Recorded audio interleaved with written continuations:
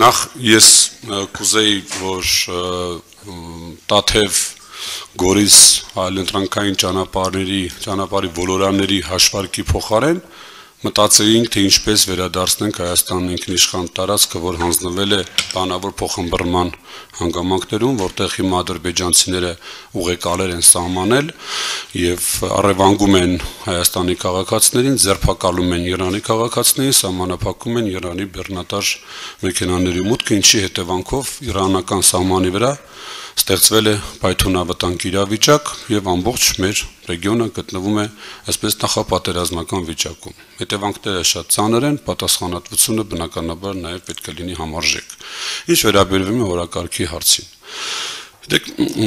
արդեն 6-րդ անգամ է մենք այս հարցը քննարկում ենք։ Ես արեցի որոշակի վիճակագրություն եւ ինձ համար པարտ դարձավ, որ այս ընթացքում ինձ հնչել է մոտավորապես 18 հարց։ Հնչել է 18 պատասխան հարցին,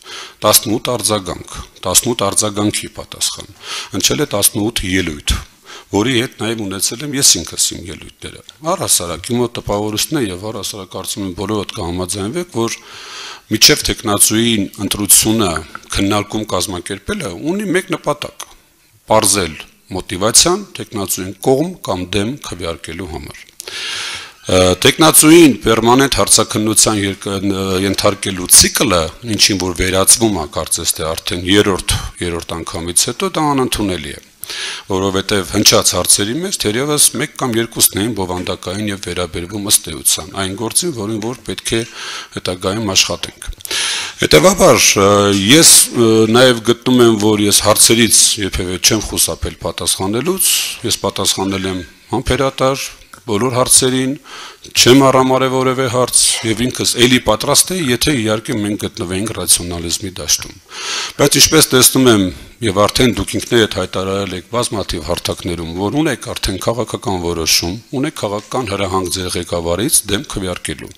Հետևաբար ինքնանպատակ հարց ու պատասխանի, ինքնանպատակ արձագանքների, ինքնանպատակ ելույթների եւ այլնի մասով ես կարծում եմ, որ օրակարգի մեջ առնվազն մեր իմ մասնակցությունը նպատակահարմար չէ։ Կրկին եմ ուզում փաստել, որ այս հարցը գտնվում է իշխանության պատասխանատվության տիրույթում իրենք պետք է որոշում կայացնեն։ Քվեարկողնել եք դուք, չքվեարկողնել եք դուք, որոշում կայացնողնել եք դուք, որոշման կայացման մերժողնել եք դուք, այն միջալոց որոշման նախագիծ չկա ներկայացված արտահերտնիստի օրակարգում։ Ահա, տեսեք, ին պարունակում է, սա չի պարունակում փաստորեն դա ավելի լավ էական ինչ որ է հա ամենայն դեպս ես ասում եմ հետեւյալը որ այս ընթացակարգով այսուհետ մեզ համար այս օրակարգը սպառված է իշխանությունը չի կարող ստիպել ընդդիմությանը ենթարկվել իր պահանջներին, փոխել տեխնացուին եւ ընդդիմությունը Հայաստան խմբակցությունը այս պաշտոնը չի զիջելու իշխանությանը կամավոր։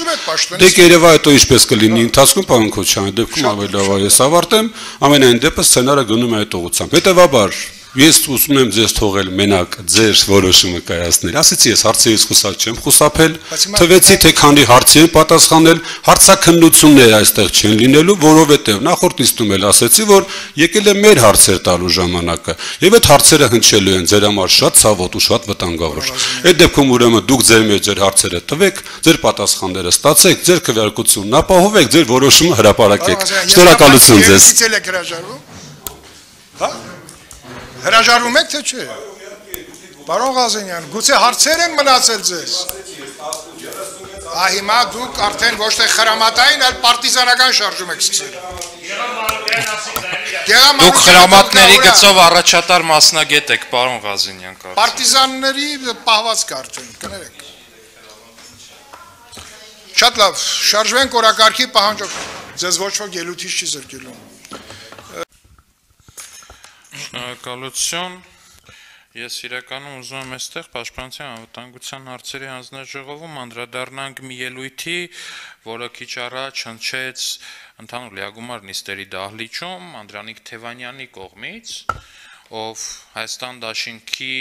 Այսպես Հայաստան դաշինքը մեր լրագրողները շատ հաճախ բաժանում են, հա, թևերի, դաշնակցություն, այնտեղ Վայ Հակոբյանի թևը, կա Ռոբերտ Քոչյանի թևը, ու այս բաժանման մեջ Անդրանիկ Թևանյանը միանշանակ Ռոբերտ Քոչյանի թևում է, այսպես, ու նրա ելույթը ամբողջությամբ միտված էր Հայաստանի եւ Արցախի դեմ սանձազերծած պատերազմում Ադրբեջանին արդարացնելու։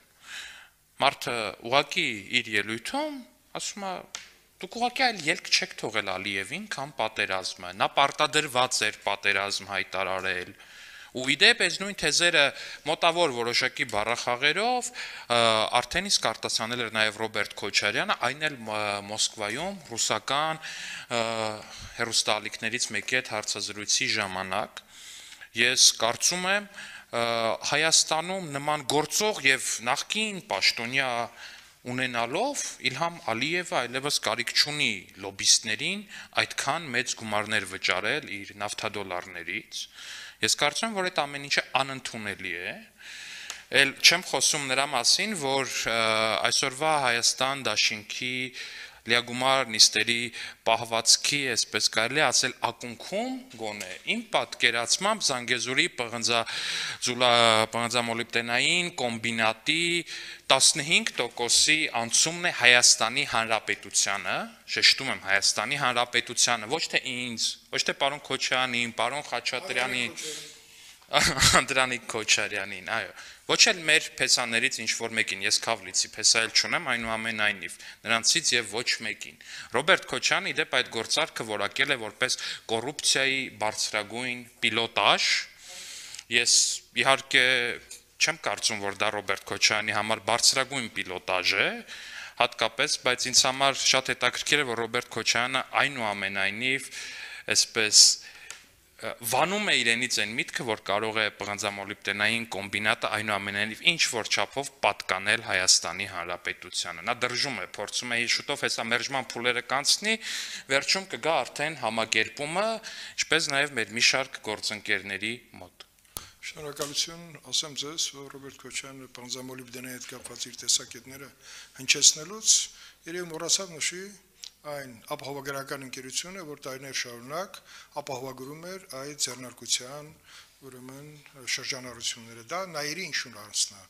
Խնդրում եմ չմոռանա, որովհետև դրա մասին պետքա իմանա մեր հասարակությունը եւս։ Իսկ դրա միջոցները հսկայական են։ Արփիդավյան չի ուզում։ Ես ուզում եմ անդրադառնամ հնչես Արգելի գործընկերներ, ես ուզում եմ բոլորիդ ուշադրությունը դարձնել հետևյալ հանգամանքի վրա։ Անընդհատ այս հարցը բարձրացնում է ընդդիմությունը։ Եվ ես մոտավորապես հասկանում եմ նաև մեր ընդդիմադիր գործընկերներին։ Նրանք փորձում են արդարանալ, նրանք փորձում են պաշտպանվել այն գործողության համար, որ նրանք արել են սրանից 10-11 տարի առաջ։ Իսկ ինչ են նրանք արել իրենց ընդունած օրենքով։ Շատ པարզ բան արձագանքել են, արձանագրել են, ուղերձ են հղել, որ շուրնուխից այն կողմ Ադրբեջանի Հանրապետությունը։ Նրանք նրանք այդ եղանակով ուղերձ են հղել բոլորին, այդ թվում